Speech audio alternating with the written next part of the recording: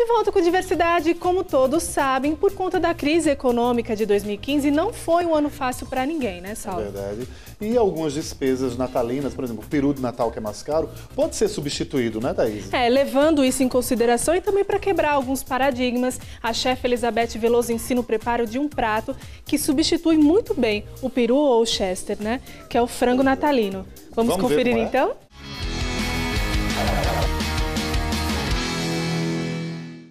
Olá, estamos em mais um Cozinha e Cultura. Hoje vou preparar para você um frango de forno, ideal até mesmo para ceia natalina.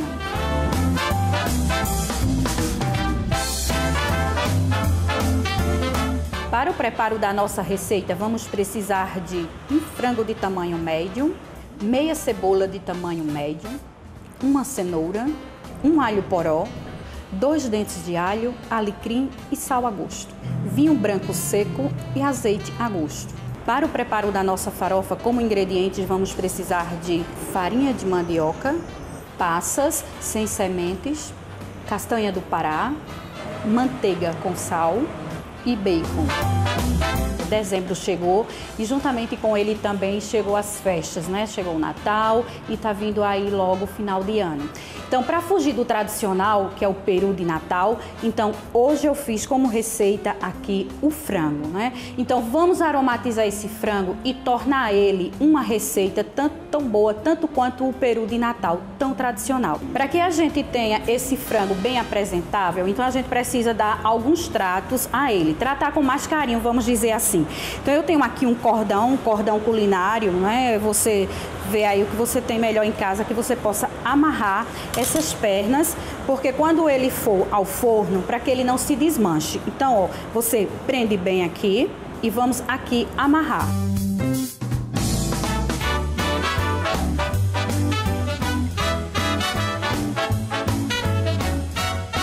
Tenho um papel alumínio e eu vou cobrir o finalzinho aqui do ossinho, até porque como não está com pele, então ele tende a ficar muito ressecado. Então eu fecho isso aqui com papel alumínio. Como a asinha do frango ela é bem mais delicada com relação a outra, às outras partes do frango, então eu vou proteger bem essas asas com papel alumínio.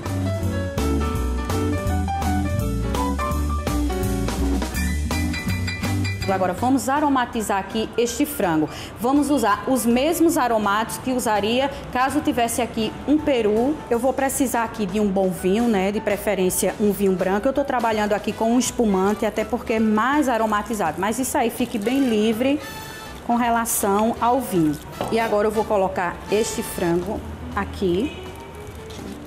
Então eu vou cobrir bem esse frango com vinho. E agora eu vou acrescentando aqui a esse frango os demais aromáticos. Aqui está a cebola cortada grosseiramente. Tenho aqui as cenouras, cortada também grosseiramente.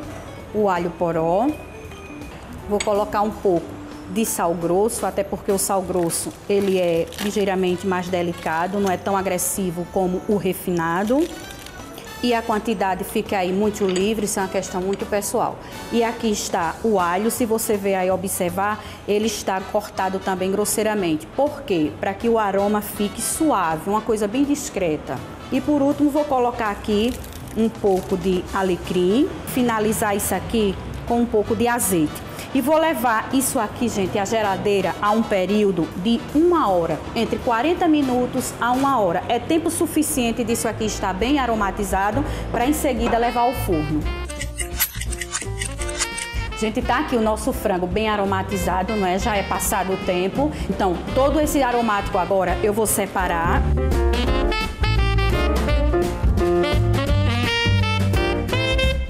E tudo isso aqui agora eu vou coar. No recipiente que você vai levar o seu frango ao forno, então você vem com essa verdura. Você coloca aqui. E sobre essa verdura, vou colocar o frango aqui por cima.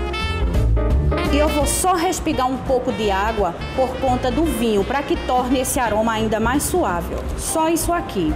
Vou colocar mais um pouquinho de azeite, finalizar isso aqui. Vou levar esse frango, gente, ao forno a temperatura de 180 graus a uma hora a uma hora e vinte. Isso aí vai depender do seu forno. Todo coberto no papel alumínio e lembrando que a parte brilhosa fica para baixo, para que eu mantenha mais tempo de temperatura.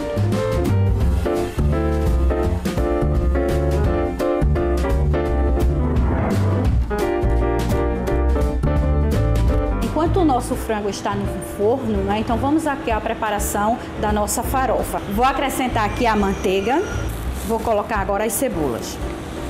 Nesse ponto aqui da cebola, já posso acrescentar o bacon. Você vê aí em casa como ele está bem trituradozinho.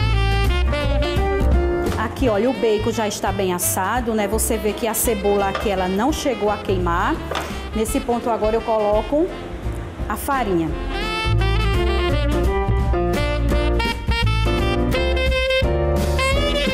Farinha aqui, né, ela já está bem torrada, está bem aquecida. Agora vou acrescentar aqui a castanha do Pará. Vou deixar agora ela esfriar para que eu possa finalizar com as passas. Gente, o frango aqui eu já tirei do forno e eu deixei cerca de uns 20 a 25 minutinhos para ele dar uma ligeira esfriada, né? Para primeiro dar uma olhadinha. Então agora vou retirar o papel alumínio e vamos ver como tá.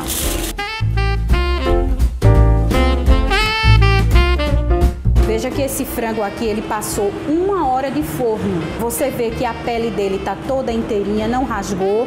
Eu agora vou voltar ele ao forno por 10 minutinhos, na mesma temperatura, a 180 graus, para que eu tenha ele bem dourado. Vou pincelar um pouco de manteiga e aí, se você desejar colocar mais um pouco de aromático, fique à vontade.